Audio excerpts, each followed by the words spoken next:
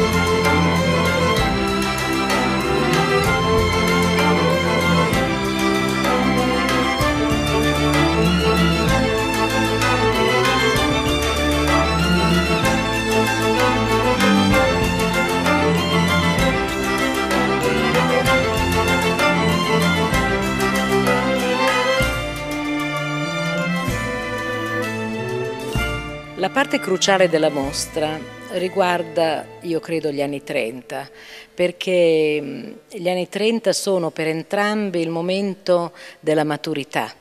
Loro sono nati nel 1900, quindi nel 30 hanno 30 anni. Eh, Onofrio Martinelli arriva da Parigi, torna indietro da Parigi nel 1931 e, si, e va direttamente allo studio di Colacicchi. Comincia quel vero e proprio sodalizio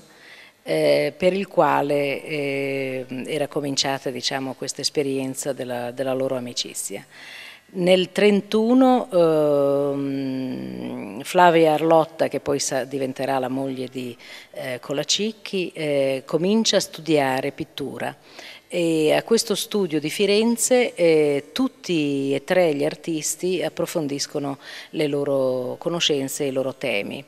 Eh, bisogna dire che soltanto dunque, nel 1932 eh, Giovanni Colacicchi eh, costruisce, mette in piedi quella grande opera che si chiama Fine d'estate, con tutti i corpi, i giovani nudi, il, il paesaggio bellissimo e l'idea di Piero della Francesca dietro alla, a, queste, a, questo dipinto.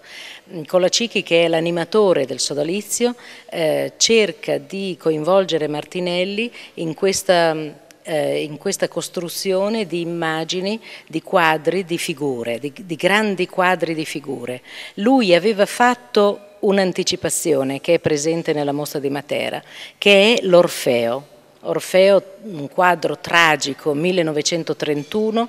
eh, costruito con spesse materie pittoriche, un nudo in primo piano dell'Orfeo che giace per terra, le bacanti nel, nello sfondo e una visione notturna con la luna. Ecco, questo quadro è praticamente l'anticipazione di questo discorso che Colacicchi vuole fare con il suo eh, sodale, eh, Onofrio Martinelli, e presenta nel 32 appunto fine d'estate. Nel 34 nasce quindi, mentre loro lavorano gomito a gomito, un po' a Firenze e un po' ad Anagni, eh, nasce eh, l'idea eh, del, del, dipinto degli Argonauti, del riposo degli Argonauti del, dell'Onofrio Martinelli, eh, che sarà seguito da due altri dipinti sempre fondamentali perché lui poi costruirà un, un certo numero di queste grandi opere che sono eh, la composizione di nudi del 37-38 e poi per ultimo nel 38 il eh, I Giganti, che è un dipinto con un paesaggio che rievoca l'inferno dantesco e queste figure